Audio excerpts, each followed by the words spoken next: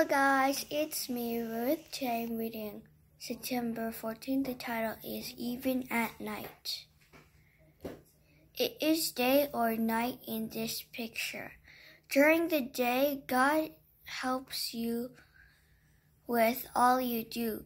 He helps you do your chores and He helps you be kind to everyone. But at night, God helps you too, whether you're roasting marshmallows with your friend or getting ready for bed. God is there. He will protect you and guide you all through the night. My Bible verse. I praise the Lord because He guides me. Even at night, I feel He's leading me. Psalm 16, verse 7, my prayer.